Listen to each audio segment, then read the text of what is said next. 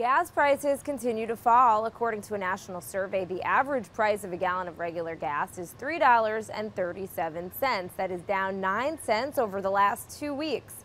Analysts say prices could fall even more because refineries have switched over to winter grade gasoline, which is less expensive to produce than summer grade. Wall Street is bracing for a wave of climate change protests this morning.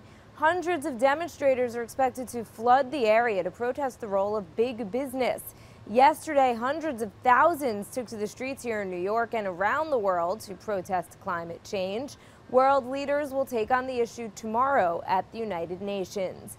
And don't have the time or money for a vacation? Marriott is giving people the chance to teleport themselves somewhere else, like the beaches of Hawaii or downtown London.